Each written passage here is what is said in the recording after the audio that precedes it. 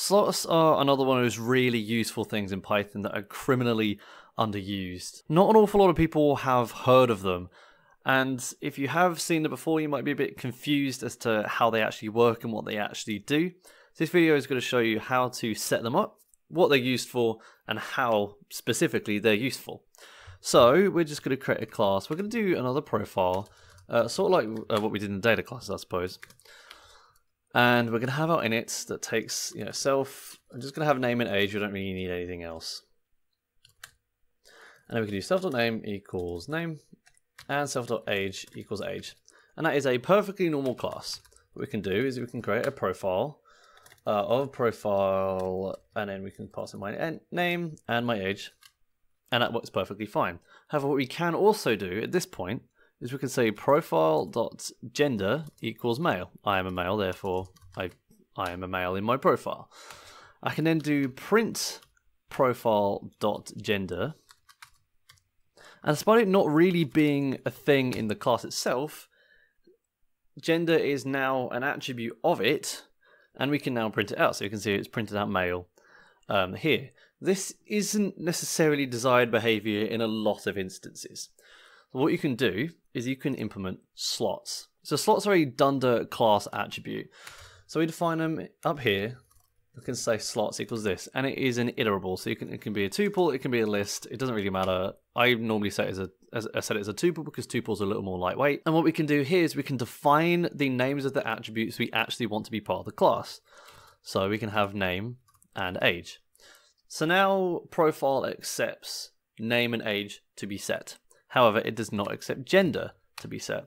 So now if we you know run it again, it will say profile attribute uh, object has no attribute gender because it's not defined in the slots. So we are defining the attributes. This doesn't lock down methods. You can still add methods to the class as much as you want uh, using uh, you know this method, but it just means that you can't do something like this where you're adding another attribute. If you did want to add another attribute later down the line, you could have that, and now it can be set. However, you would probably want to do something like self.gender equals like male or something here, and then you would you know set it later down the line if you were to do that, just for you know readability sakes more than anything. Slots aren't just useful for you know gatekeeping and trying to keep a little bit of control over what attributes are actually assigned to your object. They also significantly lighten the object down because without slots, uh, Python creates a dict for it. So if I just get rid of, if I comment out the slots for a second, you'll see what I mean. So if we get rid of this too, get rid of all this as well.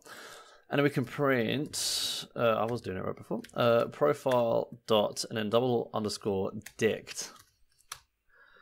What this does, it has, you know, a dictionary of all of our things. If we then do uh, profile dot gender equals male, and then we print it again. I just realized I didn't like copy it beforehand. That it's now added to that dict, and uh, every class has a dict like this. However, if you define slots, this actually overrides the dict. So we can actually now run this again. It will give us an attribute error because it doesn't even have dict available anymore.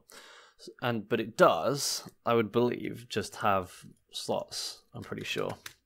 Yeah, so it has the slots there. So in not having this dict, we do two things. One, we save on memory because there isn't, you know, a dictionary object, which is huge. I can actually demonstrate that now.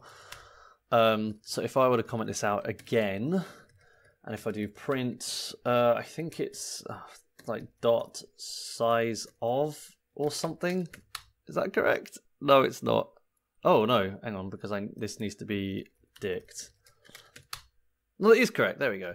So our dictionary is 88 uh, bytes in size. Obviously, in a bigger object, and with a lot of objects, that's going to stack up. However, our slots, which contains all the same things, is only 40, so it's less than half the size.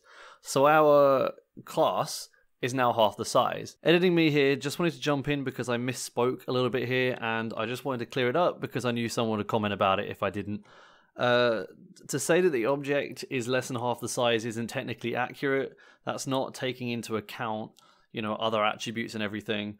The actual object is the same size, but the size of the object uh, that you get given by Python isn't the actual size that it takes in memory.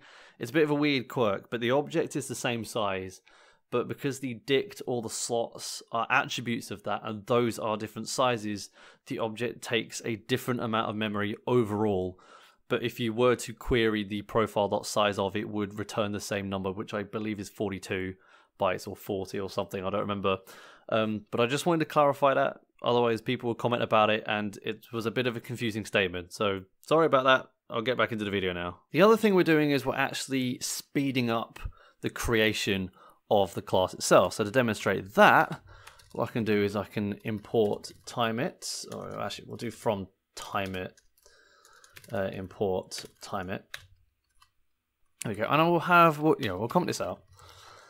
And then we'll do, uh, so we code equals that. Oh, God. There we go, code equals that. And then time it, let's see what it is. So statement is just the code. The setup we don't need to worry about in this case, I don't think. I really hope we don't need to. And then the number equals say 10,000. So we're now going to create 10,000 um, classes and then we're going to print the time it took to do that. uh, okay, so yeah, what we need to do is we do need to do the setup. So if I do setup, it's always a bit awkward using the time it. I I find, but uh, it is it is a useful tool. I might do a more advanced video on it. Oh, for God's sake, are you kidding me? Okay, there we go. I managed to get it sorted out. Right, if we have 100,000, maybe that. Yeah, so 0.02 if we don't have the slots. If we do have the slots, it comes out to, okay, it's a little bit quicker. Let's see if we can get a better indicator. 0.19 with slots, 0.19, 0.19. If we then comment this out, 0.24, 0.25, 0.25. So you can see it is consistently slower. It doesn't appear to be that much slower in this case. However, it is a very small class with only two attributes and no methods at all, and there's also only one of them. If you're making a game or you know a bot or something that needed to be memory efficient and time efficient, and you were going to be creating a lot of classes, then having this memory saving of even just you know a small number of bytes, when you multiply that by a million, that becomes millions of bytes. Mm-hmm. So you can see when the code starts scaling up that it's it's really good to be using slots, especially if you're building like a game, as I say, or something like that. Other than that, if speed isn't you know necessar- necessarily a concern, I can't speak at all today apparently. Um, then it's still useful for you know doing what we did before in making sure that only certain attributes are actually um, created. It's also just good for readability. I find I quite like slots being there just so I know what's there and what's not.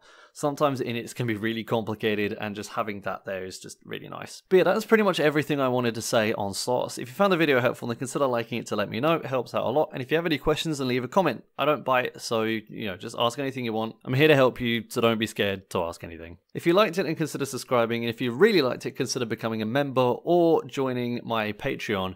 If you do that at £1 a month, you become on the screen like these people and I will see you next time where we do it'll be perfect Python again. I'm sorry videos have been so patchy.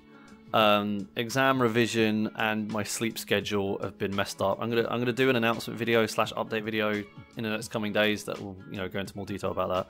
But um, yeah, hopefully things will be back to normal soon, and I'll see you later for the Perfect Python series video. That will be next, I think. Hopefully, I'll see you for that.